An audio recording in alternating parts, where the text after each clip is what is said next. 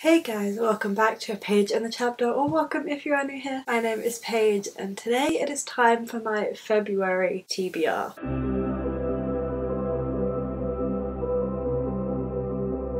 What is it about January that makes it last so bloody long? Oh my god, it's been going on for forever, it feels like. Well, we are out of it now, and it is time for my February TBR. There's actually not a lot that I want to read right now, so I've kind of put together a list of guidelines, and I'll just pick and choose from this list depending on the vibe. I didn't just want to like purely vibe like I did in the month of January. I had no TBR at all for January, I just mood read. And whilst that was really freeing at first. As we got towards the end of the month, I just felt really slumpy, had no kind of structure to my reading. Once I'd read the books that I like really wanted to read, I just had no idea where to go next. So I'm glad that I do TBRs. We are now back into TBRs. So whilst I'm still feeling a little bit mood readery, I'm just kind of gonna pick and choose from this list. You know, it's a guideline and not a strict, you have to read all of these types. I have five books on this list. I can normally read about five books a month, but February is obviously a shorter month and because I'm feeling a little bit slumpy, I don't think that I'm going to read all five, but because it's just a here's some books you may want to read type of deal, I'm not going to be too disappointed about it. I'm vibing, I'm chilling, it's all Gucci in the hood over here. So if you guys like TBRs and wrap-ups and you like what you have seen so far, why not hit that big red subscribe button down below and stay tuned for future content. I upload twice a week on a Wednesday and a Friday, so there is no shortage of bookish content here for you to enjoy. And if you want to see more, I have designated playlists for TBRs and wrap-ups that you can go and watch if the mood strikes. So without further ado, because my camera battery is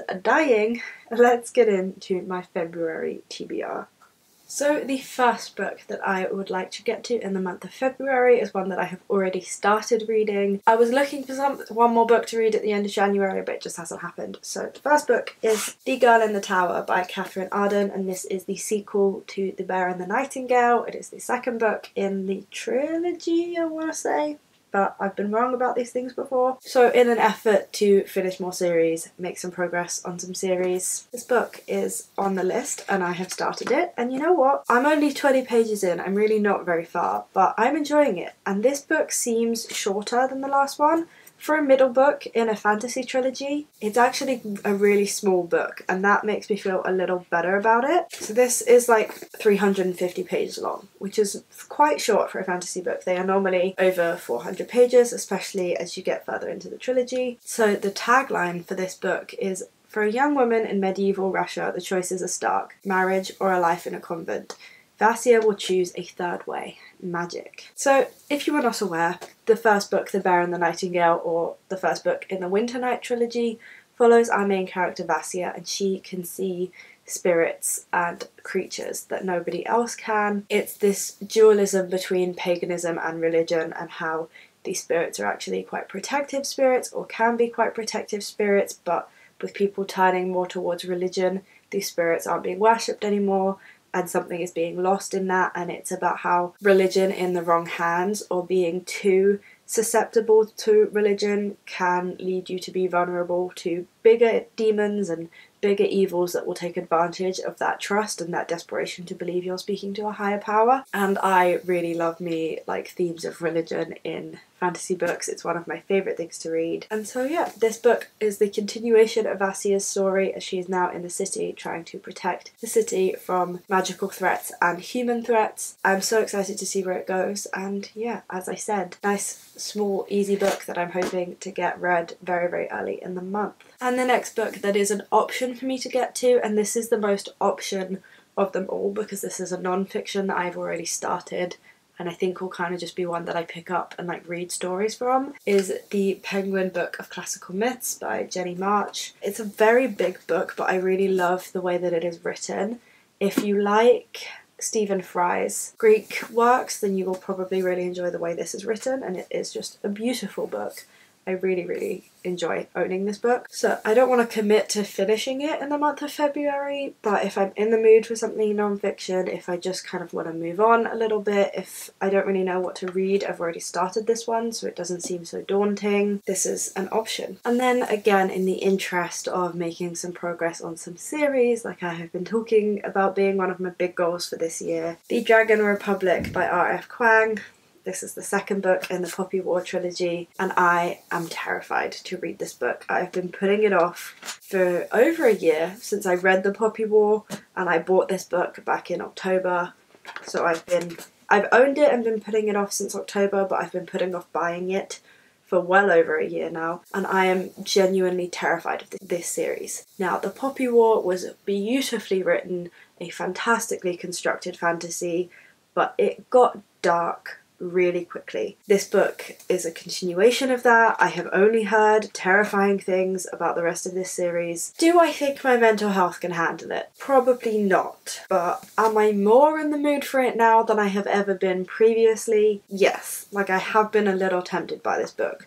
But it's absolutely freaking huge. I don't know how I'm going to read this in a month and still read the other things on my TBR. So like maybe this book just needs a whole month to itself because this book is 650 pages long. No one has the right to be writing a middle book that long, especially when middle bu books usually suck. I don't really know if I have high hopes for this book. Should I read it if I don't think I'm going to enjoy it? I don't know. That's going to have to be a debate that I have with myself throughout the month. I've just had a little a little craving in my brain of like, hmm, maybe maybe we're in the mood for the Poppy War now. Maybe.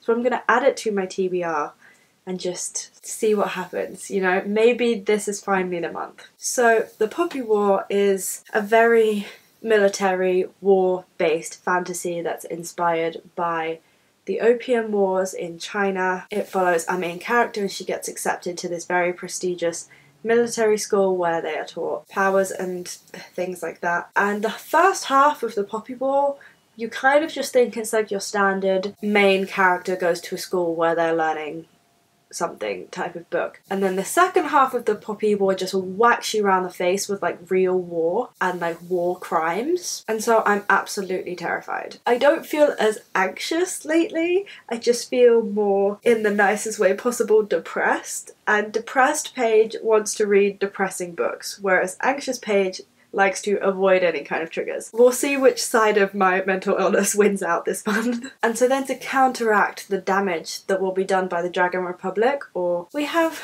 The Lock-In by Phoebe Luckhurst. I received this book back in the summer, but I did not read it back in the summer.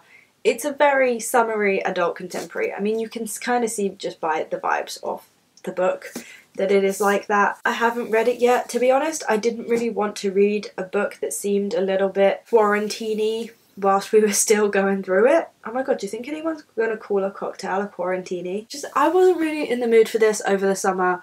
We were finally allowed out. I didn't really want to read about being locked in. A hilarious story of housemates and hangovers, friendship and dating as Ellen, Alexa, Jack and Ben discover what the worst ever morning after the night before really looks like. And it has been quoted by Emma Gannon, who is the author of Olive, a five star read, one of my favourite books of last year. Absolutely adore that book. And whilst it's not summer right now, the weather is really acting like it's spring. We've got that very, very sunny yet still quite crisp weather, and it's kind of making my mood transition a little bit.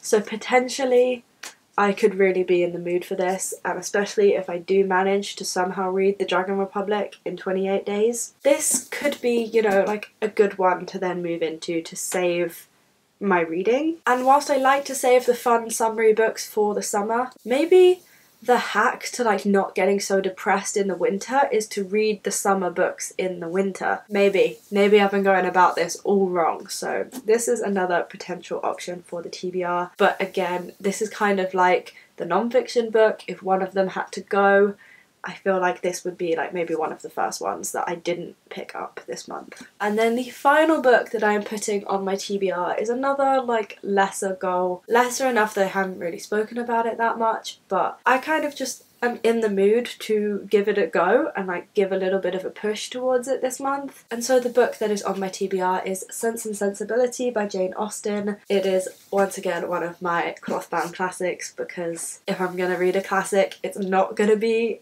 one that I don't own. so because I have all of these cloth bound classics, it's been a goal of mine to like slowly start reading through them. I did do pretty well at actually reading some classics last year. I read more classics than I ever had before, probably because I owned them in such stunning editions. I'd just like to give it slightly more of a push this year, so if I read one a month or have one on my TBR every other month that I am working towards. That will make me happy. So I've chosen Sense and Sensibility as this month's pick. I don't know why, it's just kind of the one that grabbed my attention, that drew me in.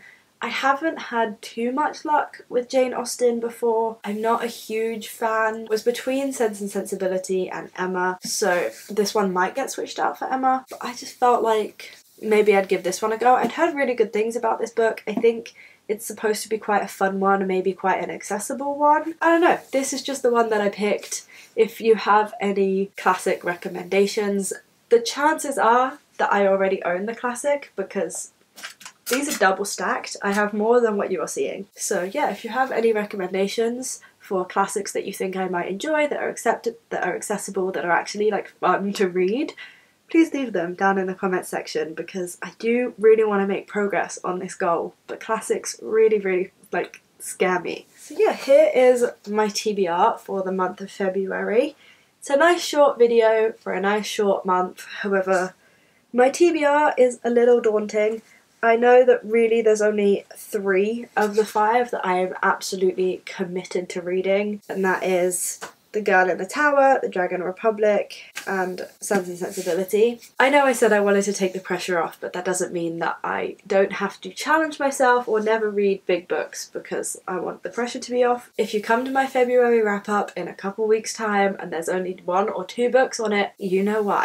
Thank you guys so so much for watching this video. I do hope that you enjoyed. If you did enjoy and you would like to see more from me, then do feel free to hit that big red subscribe button down below Stay tuned for future content. I upload twice a week on a Wednesday and a Friday, so there is no shortage of bookish content here for you to enjoy. You can also check me out on Instagram and Twitter at Paige and Chapter if you want to see what I'm reading as I'm reading it what I'm reviewing it as I'm reading it, if you even want to pick what I read next. So you just you don't have to keep waiting monthly for TBRs and wrap-ups, you can see it in real time if you are interested. I hope you guys are having a fantastic week, you are enjoying everything you are reading, and there are no reading slumps in your future. That is my sign to ward off the dreaded slump.